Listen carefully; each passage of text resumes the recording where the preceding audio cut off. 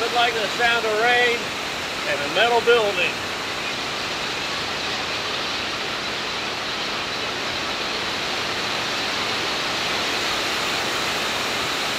What'd you say?